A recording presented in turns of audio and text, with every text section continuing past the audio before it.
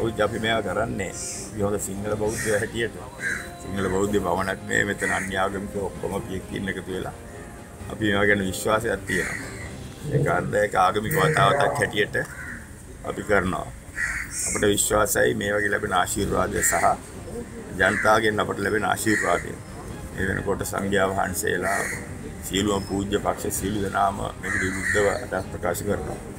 මේ රටට පොඩි විනයක් එන්න යන විශේෂ ව්‍යවස්ථා සංශෝධන පරාජය කරලා ඒක අධිපතියෙක් බිහිව මේ රටේ නවත්තන්න අපි උත්සාහ කරනවා. එතකොට මේ වෙනකොට මන්ත්‍රීතුමා මේ එක සැරයක් මේක අයින් කරගත්තා. එතකොට දැන් ඇවිල්ලා තියෙන ඒකමද වෙනසක් වෙලාද? ඒකම ඇවිල්ලා තියෙන්නේ. එතකොට අගමැතිවරයාට මොකුත් කරගන්න බැරි වෙලාද? ඔය අගමැති තමයි පොදුජන පෙරමුණේ නායකයා පුරෝගාමි නායකත්වය දුන්න ඔක්කොම කරේ. අද වෙනකොට පොදුජන පෙරමුණේ සියලුම දෙනා එකතු වෙලා පාර්ලිමේන්තුවේ කාර්යක්ෂම කරන්න පාර්ලිමේන්තුව පාර්ලිමේන්තුවේ බලය විනාශ කරන්න පාර්ලිමේන්තුවේ മന്ത്രിවරු එකතු වෙලා මේක ගෙන් හදනවා. මේක ගෙනාව අනිවාර්යයෙන්ම අගමැති පඹේක් වෙනවා. අගමැතිගේ දීර්ඝ කාලයක් තුන බලාපොරොත්තු බලවත් රටේ දේශපාලනේ රැඳී සිටීමට එතුමා දක්වපු හීන ඔක්කොම බොඳ වෙලා යනවා. එතකොට අගමැතිතුමා බේරගන්න අද විපක්ෂයටද වෙලා තියෙන්නේ. ඒක තමයි මේ වෙලා තියෙන්නේ. අපි මේක බේරගත්තොත් අගමැතිතුමාට අතාත්මක රුප්පයක් තියාගෙන ඉන්න පුළුවන් වෙයි.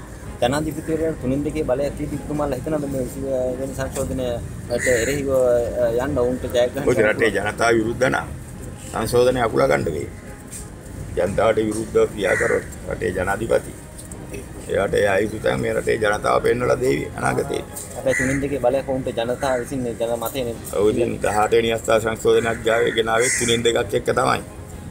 කලින් තිබුණ රජය ඒකේ ප්‍රතිඵල වලට අන්තිම මුණ දෙන්න සිද්ධ වුණානේ අකුලගෙන ගෙදර යන්න උනානේ ඔක්කොටම.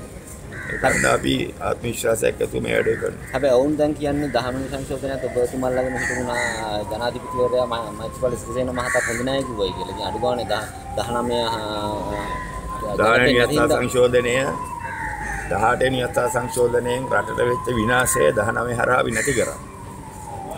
තමුන්නාසලගේ මාධ්‍යයට පාව නිදහස ආමුනේ 19 වෙනි අස්ථා සංශෝධනය නිසා.